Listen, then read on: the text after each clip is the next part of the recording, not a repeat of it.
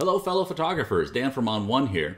I want to show you how to use the Quick Mask AI tool to do background replacements. This is an updated tool in Photo RAW 2024.5. It's much more powerful. I'm going to show you three examples ranging from pretty simple to pretty complex.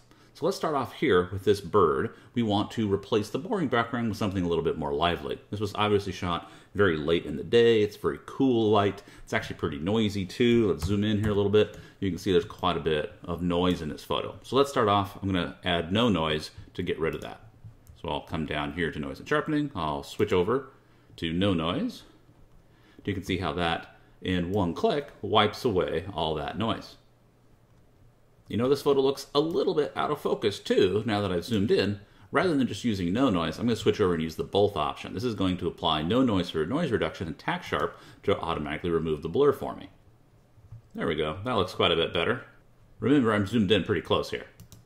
And while we're here, let's brighten things up a little bit. I'm just going to go to tone and color. I'm just going to use my exposure slider and brighten the photo up a little bit.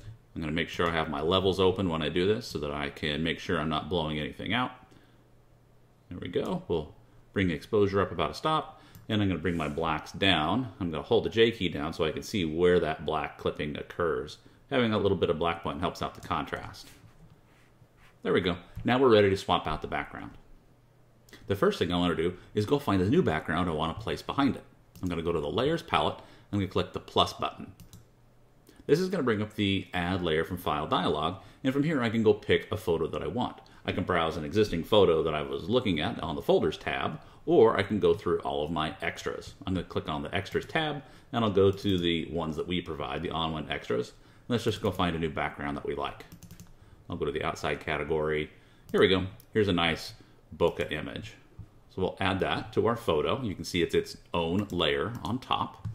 And now I'm just going to use the transform tool to scale it to fit. So I'll just press the fit button. That's going to scale it up to fit my photo. I also have the option to flip it or flop it based on my taste. That looks good. I'll hit done. And I'm just going to drag it below my bird layer in the layers palette. So now it's hidden. Now back to the bird layer, I just need to remove the old background.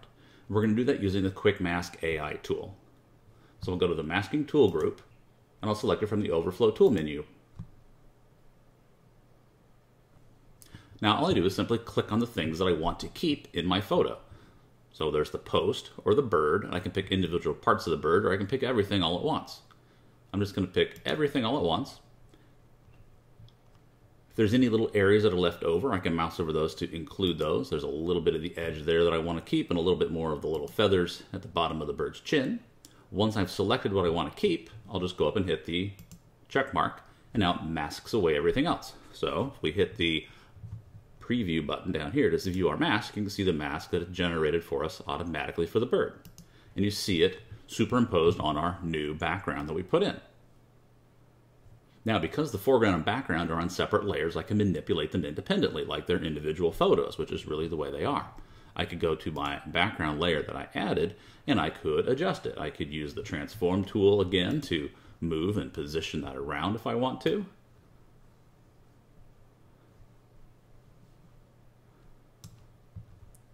I could also use the tools in tone and color or in effects to adjust it. Maybe I want to tweak the color a little bit. I want to warm it up more so I get a little bit more of that warm cool dichotomy, more of a fall photo that really plays off the blue in the wings and the warmth in the background.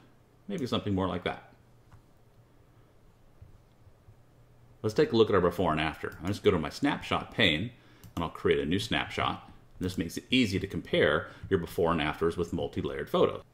Then I can just toggle to the original photo and then our results. Now that's a pretty simple example. Let me show you one that's a little bit more complex. Here we have a studio shot on a neutral colored, not bright white background. This is a great way to photograph if you're planning on compositing. It reduces color bleed through on the edges and it also reduces bright halos on the edges as well. First thing I want to do is I want to crop off this softbox that was left over in the corner. So I'm just going to use the crop tool to bring it down to get rid of that corner. Now in this case what I want to do is I want to be able to blend in a new background on top of the existing background. One of the benefits in doing this is it's going to help keep the shadow that is cast by the lighting, and it'll also keep the sweep, kind of the shape of the background underneath her feet. It's something important when you're shooting a full-length photo. So let's go find a new background that we want to use. Same thing, I'm going to click the Add button here in the Layers pane, and let's go find a new one. Let's go to our, oh, let's go to our studio backdrops in this case, and then I'll just pick one that I like. I'll grab this one down here at the bottom. There we go. That adds in a studio background. Now you notice that it's dark at the top and bright at the bottom. That doesn't really fit our scene, so let's flip it. Using that transform tool, I'm just going to flip it up, to, up and down, and then I'll use the fit button to scale to fit my canvas.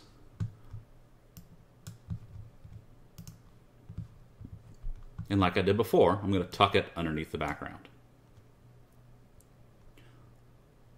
We'll go back to that upper layer and we're going to use the same Quick Mask AI tool.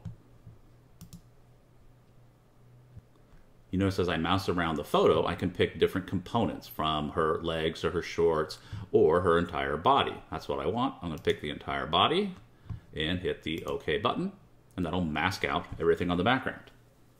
Now, we've done this, we've removed it completely. Doesn't look very realistic because we've lost the shadow, we've lost the shape of the sweep. The trick is we want to blend the two together. To blend those two together, we're just going to reduce the opacity of the mask. If we look at the mask in the mask preview mode, you can see it's pretty much just white and black. What I really want to do is make that black a gray. And the way we do that is we go to our masking properties, we go to the density slider and we bring that down. You can see how I can now blend in the texture and color of that new background while maintaining the shadow and the sweep nature of the underlying background. So I just dial in the amount that looks good to me, probably around 60, 70%, and we can futz with that later. Now that looks a bit more realistic. Now again, because the foreground and background are separate from each other, I can manipulate the background independently. Let's say I want to tint that background color. I can just go to the background and I can now use any of the tools that I'm used to using. I'm just going to roll up masking here. Let's go over to effects and we're going to add a photo filter. With photo filter, I can pretty easily change the color of that background. Let's say I'm looking for something that's in the same hue value range as her shorts are. So I can now shift that background until I get something that is closer in the value of her shorts that she's wearing. Now that we've done that, we've shifted the hue more, it's easier to see where there's an edge in the original mask. This is where we might need to do a little bit of cleanup depending. This is really caused by a difference in the brightness between the original and the background photo. And can be exacerbated if there's a strong color difference as well. If the original background had a color to it, you'll have a colored edge to it. I'll show you how to remove that. I want to make sure that I'm on the foreground layer. I'm going to go to the masking tools and I'm going to use one of two different tools. I'm going to use either the chisel tool or the refine tool. I'm going to use the chisel tool for this photo. And what the chisel tool does is it just moves the mask edge in or out a little bit. So I'm going to select that tool, make sure it's set to remove, and then I can simply brush along the edge to remove that halo, or if you want to cheat, just simply double click on the tool icon. I'm going to zoom in a little bit so you guys can see this in action better. So you see right here along the edge, there's that little bit of a halo left by the changing of the background. I'll just double click on the chisel tool and you'll see how it shaved that off a little bit. I can do it again if I need to continue to make it smaller and smaller. So I can do that a few times until it removes that edge. That works great on the hard edged areas, but when we get into things like hair, that's where we want to use the refine brush instead. So I'll just grab the refine brush, and then I simply brush it through the hair to remove anything in the hair. And this is also the same tool you'd use for tree branches as well. So there's a more complicated background swap where we blended in another background on top of the existing gray studio background to give it a little bit more oomph and I'm able to change the color to fit the scene a little bit better so it matches her hair and her shorts a bit more. Let me show you a variation on this that's even more advanced. Here we have a photo shot on a very bright colored background. This is not an ideal photo for doing background replacement. The problem when you photograph on a bright colored background is you're actually reflecting that color onto your subject. You can see she's wearing this metallic neck piece and you can see there's quite a bit of blue color reflected into that. And even along the edges of her skin, it's actually going to reflect some of that blue. So it's going to be not just a masking operation, but we're also to do some local color adjustments to fix this as well. But the process is essentially the same. First thing I want to do is I'm going to lower my exposure a little bit. This feels like it was a little hot for my taste. There we go. Let's go find us a new background. The plus button and we'll grab a new background. Let's just use this one right here. There we go. Transform tool. Press the scale button. Press the fit button to scale it up. I might make this just a little bit bigger as well. There we go. And tuck it below our foreground.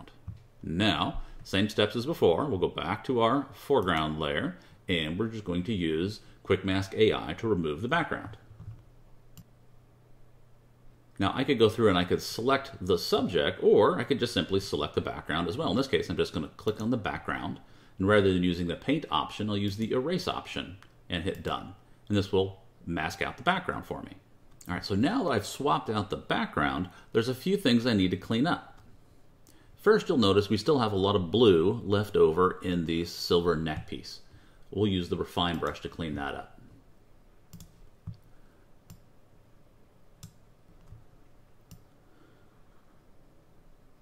Now we can't use that on the inside of the neck piece because it actually should be completely opaque. So in areas where we need to selectively change the color, instead, we'll use a local adjustment.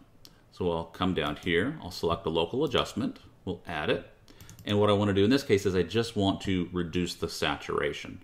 So I can use the saturation slider, I'm going to bring it down, I'll use my paintbrush, I'm going to set my feather to 100, my opacity down something low like 30, and now I can just paint that in those blue areas to help remove the blue color cast. Then in the areas along her skin, where the little bit of hair along the edge of her body was picking up the blue cast from the background, we'll do the same thing, but instead we'll paint with a flesh color. So I'm going to add another local adjustment, go down to the paint with color option, use the dropper, and pick the color from her skin make sure that the paint mode is set to replace color. And then repeat the same process. Now we're just going to paint along the edge. And what it's doing is it's painting away that blue color and painting in the color of her skin without actually changing any of the luminosity in the skin. So it keeps it looking like a natural edge, but has it now the correct color. And again, if this was photographed on a gray background rather than a blue background, we wouldn't have that problem. This isn't a masking issue, it's a color reflectance issue. There we go. Let's take a look at our before and our after here. There's our original. And our results after that background swap. All right, there you go. There's how you can use the improved Quick Mask AI tool to do background replacements and composites in ON1 Photo RAW 2024.5. We think you're going to love these improvements. It's a much stronger tool and can really make you make the most complex selections a lot faster. There you go. Thanks for watching.